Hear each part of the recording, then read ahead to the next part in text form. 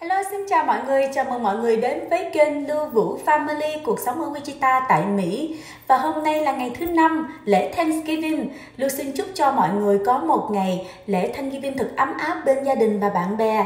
Và Happy Thanksgiving.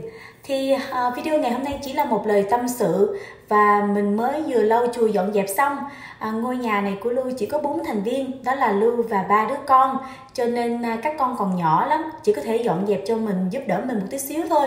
Còn ngoài ra việc lau nhà nè rửa chén nè à, sấy giặt nè hoặc là xếp đồ nè rồi à, lau chùi mọi thứ đều là mình hết. À, mình không có khả năng để mướn người làm cho nên mình làm thì mình suy nghĩ nó giống như là mình tập thể dục vậy các bạn. Thì mình mới vừa làm xong hiện giờ bên mình là một giờ rưỡi trưa. Mình muốn tâm sự với các bạn một tí xíu. À, bình thường bây giờ các bạn sẽ thấy là gương mặt của mình nè nó đang dị ứng nổi lên nè ửng đỏ. Vì ờ, mình xài rất là nhiều sản phẩm đó cho nên bây giờ mình tạm ngưng. Hiện giờ là mình, mặt mình nó không có một cái gì hết. Mình không hề trang điểm chỉ đánh một tí son à, một tí, tí son của cây Dior này nè để cho cái màu cái mặt nó tươi lên để nói chuyện với các bạn á. Chứ mình không hề trang điểm bây giờ tại vì da mặt mình đang bị kích ứng và nổi ứng như thế này thì à, mình mới vừa rẽ cái ngôi tóc của mình. Đây không phải là ngôi tóc thường xuyên của mình. Để các bạn thấy là um, tóc mình rụng rất là nhiều và mình đang sử dụng uống vitamin cũng giống như là dùng cái bộ sản phẩm uh, dầu gội này. Uh, thì uh, tóc con nó đang mọc ra. Uh, các bạn biết không mình muốn nói với các bạn là mình cố gắng làm video nó ngắn trong vòng 5 phút thôi để các bạn khỏi coi mà cảm thấy nó dài dòng. Vì bản thân mình mình cũng không có muốn làm cái video nói lan man. À, video này chỉ là tâm sự. À, những cái sản phẩm mà mình à, nói trong tất cả các video mà những cái sản phẩm mình yêu thích đó là những sản phẩm mình đã chọn lọc mình đã sử dụng rất là nhiều các bạn rất là nhiều rồi nên những cái sản phẩm cuối cùng mà những cái sản phẩm mà mình uh, list ra là những sản phẩm mình yêu thích đó cái giá nó hơi mắc một tí xíu. Nhưng mà các bạn ơi các bạn à, biết không ông bà mình nói á, là tiền nào của đó. À, vì luôn muốn làm cái video youtube này á cái kênh này á là để muốn nói cho các bạn nào mà đang đi kiếm những cái sản phẩm giống như lưu.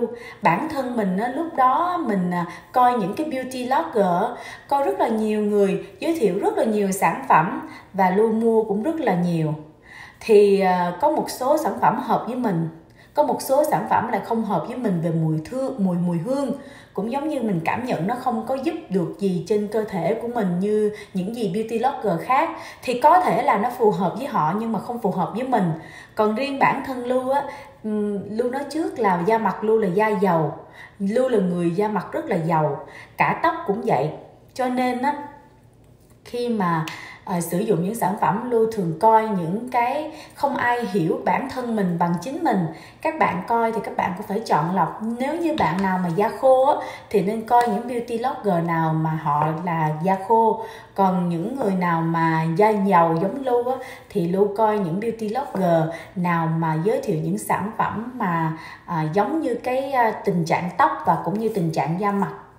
Thì à, như cái video trước á, mà mình list là những thứ mà yêu thích của tháng 11 á, là những sản phẩm đó các bạn tin mình đi.